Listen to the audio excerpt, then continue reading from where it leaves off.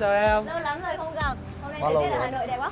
Ơ, sao Nội thế? Anh đi bên này chưa vào À, giữa Sài Gòn. Sài Gòn, Sài Gòn. Gặp vui quá. Lẫn lộn. Sao?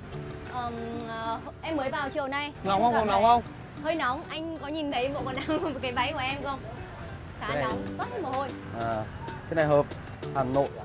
Không Hà Nội Trong Đâu vậy, nó trong có này Hà Nội đâu, Hà Nội bây cũng đang lạnh mà Hôm nay em vào có việc gì nhỉ? Thì vào gặp anh như gì? À. Anh, anh với lại anh Trinh hẹn em vào đây. Rồi, anh có thấy em ờ, làm về xe nhiều á, có theo dõi ở trên Facebook rồi TikTok nữa. Ừ. Thì ờ, không biết là em đã được trải nghiệm nhiều loại xe chưa? Em thì ờ, em trải nghiệm trải nghiệm khá là nhiều xe rồi, nhưng mà siêu xe thì chưa.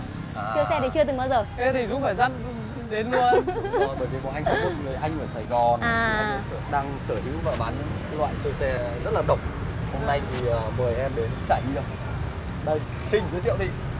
Đây, Dũng đây là con xe gì đây Dũng? Ờ, đây là một con G63 Trinh ạ. Ước mơ của vợ bạn trẻ Rồi, ước mơ của anh em mình. Tôi, thật ra thì tôi cũng rất thích con này Rồi, ở trong này còn rất là Mua nhiều luôn loại anh. xe nữa. Mua luôn, nghe nói là cầu thủ bây giờ nhiều tiền lắm à? Trinh thì đang đang muốn mua con hai chỗ thì Đang hôm nay đang mình định mua trả góp ờ, tầm uh, 50 năm đi vào mình mình sẽ nói chuyện với ông chủ Wow. xem Ok, là đi ông, Ôi. vào đây để thương lượng với ông Lần chủ đầu tiên em nhìn thấy nhiều siêu xe đẹp như thế Đó. này. à, Trinh thì ờ, Trinh lái thường xuyên rồi À. nếu mà có dịp thì Trinh sẽ đưa em đi ờ, trải nghiệm Thế Trinh ở lái đây xe cool. nào là xe của anh Trinh? À xe anh nhá, cất tít trong kia kìa À thế hả? Xe anh cất trong đấy Wow, thì thế anh em mình sẽ trải nghiệm các loại Anh xe và đâu? đi tham quan anh ấy đâu ấy? anh chủ đang ở trong Ok. chúng ta có thể vào gặp anh ấy đây đây là cây super Cái tên, cái cái tên. ờ, showroom mới của anh ấy một showroom rất là hoành tráng. Anh gọi đó là một cái ước mơ đã thành hiện thực. Siêu đẹp. Ok, ok, để vào để giới thiệu trong khách cho anh Khanh. Anh khanh đâu rồi? Khanh là khách sộp Anh Khanh khách sộp này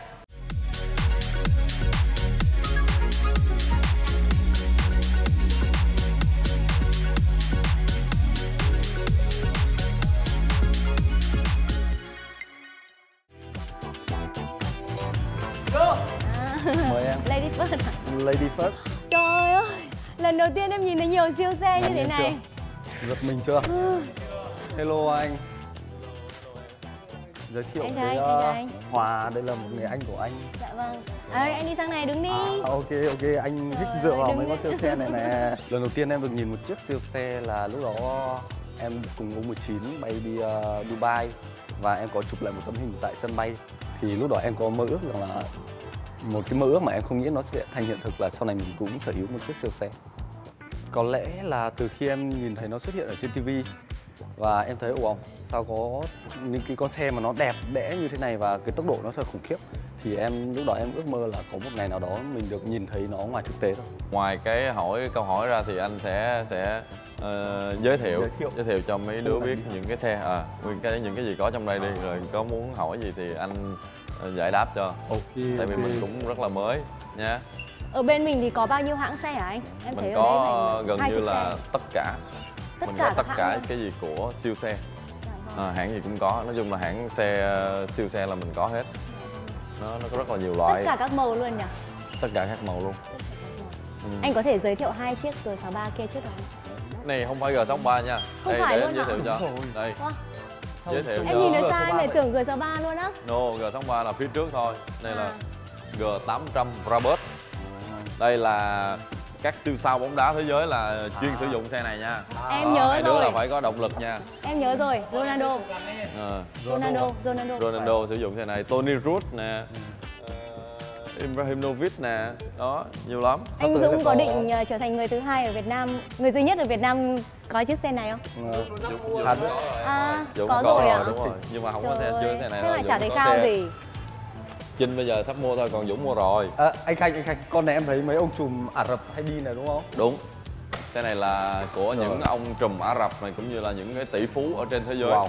Hầu như là ờ, cái G G nhá, G Robert hoặc là G G800 như thế này thì hầu như là tất cả trong những cái bộ sưu tập siêu xe trên thế giới là người chơi xe đều có sở hữu một À. chiếc. trời ơi bảo Đi rất là thích, mặc dù ờ, có nhiều người không thích nhưng mà khi lái nó sẽ thích. ừ. nó nó có nhiều cái hay xe này là hai chiếc xe cũng là đầu tiên Việt Nam ấy à, à, đầu tiên Việt đầu Nam tiên Việt Nam luôn wow. Em thấy xe này có cái la răng to hơn Ừ, bình đúng thường. rồi to hơn. G63 G63 thường á la răng thì nó chỉ có hai bên thôi. Này 20, tới 22 40 rồi. 20 22 20 tùy tùy có có có chìa khóa chứ? Này xe mình là nó chip để gần độ vào xe là nó Hermes nha. nó sẽ nổ. Cái cái chất liệu này là da đến từ ờ, ờ, một cái thương hiệu thời trang rất là nổi tiếng. Là Hermes. chất liệu da Hermes. Wow. Đây để anh mở cho. Trời đất. Một cái túi hôm mệt xíu này Ừ, một cái túi Hermes mà có tí xíu thôi là toàn là da tốn rất là mắc tiền. Trời ơi. nó đốt cả xe luôn. Đồ cả xe ngồi luôn. lên này sót quá. Chú ơi lên. Ok ok. Tao chở mày đi đâu? Đi trốn nhá đưa nhau đi trốn. Em ơi đi trốn với anh. Em ước một lần được ngồi trong đây khóc, thế á? Tình. À. Thế là phải khóc thôi. Để làm gì không ui rồi ôi. Ôi rồi. sao xe này không nếu mà nha em em đóng cửa như thế này là nó không chưa vào. À. em đóng là đóng kiểu cục xúc ấy. À đấy Ui. đóng cửa là đóng phải thế. Thế xe này dành cho những người cục xúc của ta. Đúng rồi nhiều cục xúc. Thằng Dũng hợp không anh? đâu dũng học. Thằng Dũng tập tài thì để đúng rồi đúng rồi. Nhưng này không có cửa hít phải không anh? không có cửa hết đâu em. Em đóng nhẹ anh cũng không vào phải đóng thật là mạnh như vậy đó. Đóng một nghe một cái không Dũng. Hay. Quá ta. Cái này một ngày đóng khoảng chục lần tay to lên rồi. to lên. Anh, em mình vẫn ông chủ Ả Rập hả đây cái chỗ mà start up nó đây.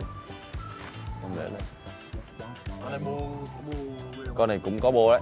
Em em đạp thắng đi anh bấm vào để ừ rồi. Đấy. nó như kiểu là Harley vậy đấy. Đó.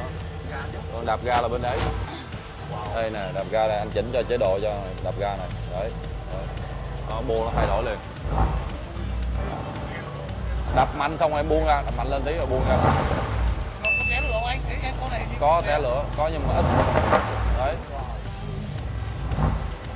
cái này là zin nguyên bản của nó là thế không có độ thêm.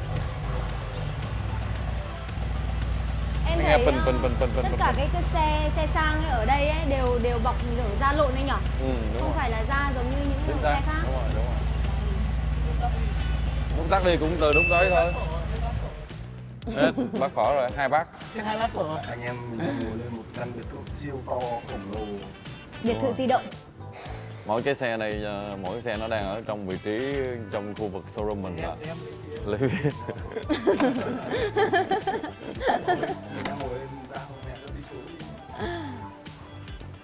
Con gái như bọn em mà để chạy được những chiếc siêu xe như thế này rất là khó phải không anh?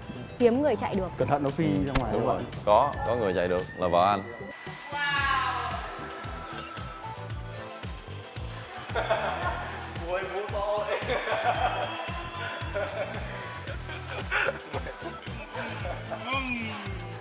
Thôi đến đấy là hồi xưa, nó hồi nhỏ là như thế đấy anh anh ạ Đúng không? Hồi nhỏ là mình cứ ở nhà cứ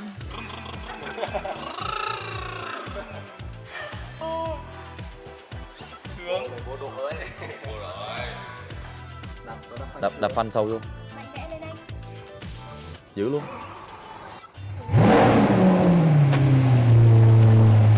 Có la rồi chứ đừng đừng đạp gì hết. Đạp ga bên kia thôi đèn bô là bên kia đấy. Ôi, em mới nhấc chân luôn đấy. Ừ nhấp thoải mái.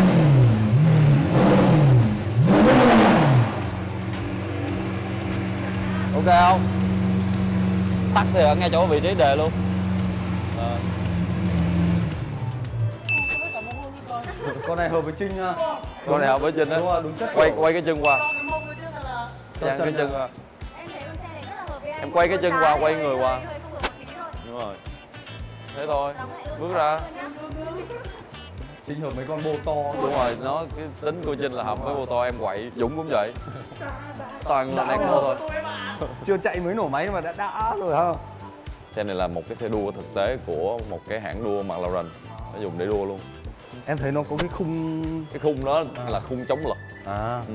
nó là một cái option độ để đua và cái À. ghế nó là ghế đua Xe đỏ kia là xe đỏ kia thì ờ, nó là giống cái xe đen nhưng mà nó là không mở mui ra được nó là cái cửa nó như thế thì không mở mui ra được cánh cửa này hình như là cánh cửa là cánh bướm phải không anh? cánh chim Cánh chim. ừ. xe này là là một cái xe được độ lại con này có thấy giống Batman ờ, cũng giống giống Batman đấy nóng. Nóng ấy. Ừm, nóng lắm. Mới có xíu mà nóng. thế. Ừ, con xe bên này thì sao hả anh? Con xe bên này thì cũng giống như gần giống như con xe phía trước thôi. Ờ, cũng một mẫu xe rất là đặc biệt của năm 2021 Dạ. vừa sản xuất năm 2021 thôi. Wow. Xe là mới. một cái xe công nghệ mới của Ferrari. Là tức nghĩa là nó có thêm một cái động cơ điện. À. xưa giờ là ờ, mọi thứ là nó đều hoạt động bằng động cơ xăng thôi. Dạ. Bây giờ thì có thêm một động cơ điện mệnh danh là Ferrari nhanh nhất thế giới đó. Đây là hai hybrid à hybrid nó có đi tí xíu vào tóm lại là nãy giờ xem xe thì anh ưng xe nào? Ông vàng chứ ông à, chứ ông vàng thôi anh bán rẻ cho anh Trinh đi. Ừ, anh bán rẻ cho thi thoảng em ờ, xin ngồi ke đi. Nhưng mà con đấy lấy về bản không đi được không nó ồn lắm.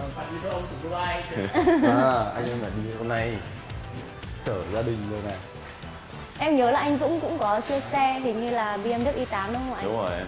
Nhưng mà xe đấy anh Dũng có bị ờ, ồn có nhiều siêu này. xe lắm. Không i8 thì không không ồn gì xe Theo. không có tiếng luôn đấy. Không có tiếng luôn.